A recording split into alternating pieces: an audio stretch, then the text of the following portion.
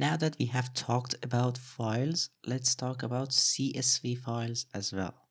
What is CSV? Well, CSV files are files that are comma separated. So each line would look something like this. 1, comma, 2, comma, 3. Opening and closing the file is like we've already learned. There's no difference. We can open it again like file equals if open and then we pass the path like example that's csv and then we choose the flag like r and when we want to close it we use f close and then we pass the file. Now when we want to read each line one way is to read the line like usual and then separate it at each comma. But there is a better way in PHP so here when we want to read the line instead of using fget s we can use fget csv it will make our lives much easier. It gets four arguments. The first one is the file itself we can pass it here. The second one is the length. Uh, if we set it to zero it will try to grab the whole line. If you have a huge line and you want to get only part of it you can specify the number of characters here.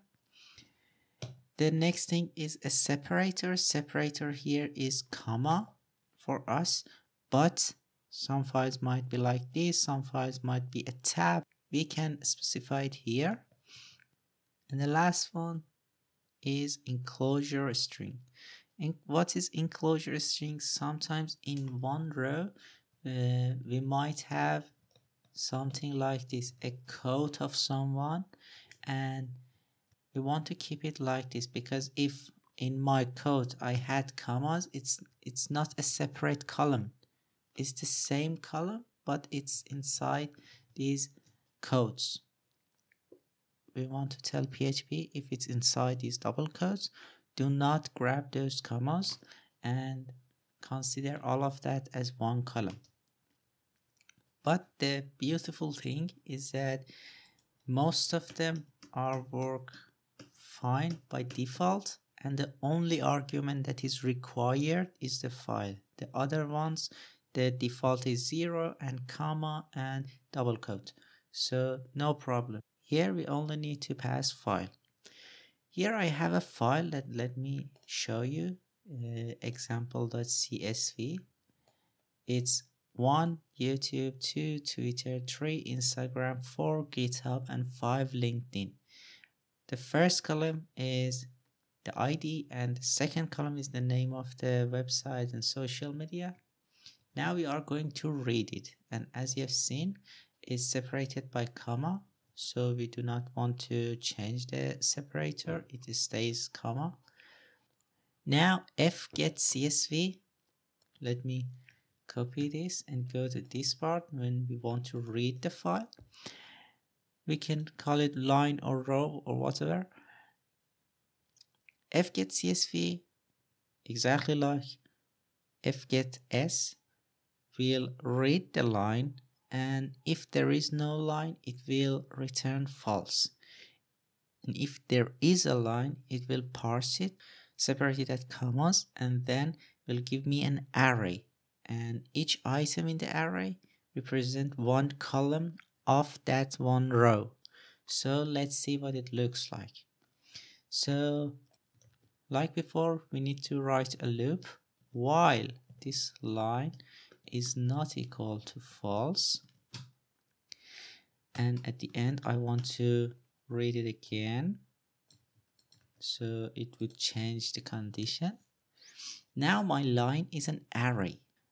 I can get the first row like id equals to this and name equals to line position 1 because it's a row the first one and the second one I can echo something like uh, the ID for website with the name of name is id and then we can also add end of line like we have already seen.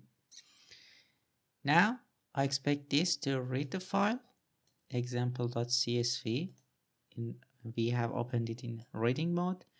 Uh, we get each line. This one will give us an array with each column. This array uh, the first part is an id the second part is the name and then we will echo this out. Now let me show you the result php index.php perfect. The id for website with the name of youtube is 1 twitter is 2 instagram is 3 github is 4 and linkedin is 5 perfect. Now what if we want to write csv if we want to write csv we will open the file like before. We will close the file like before.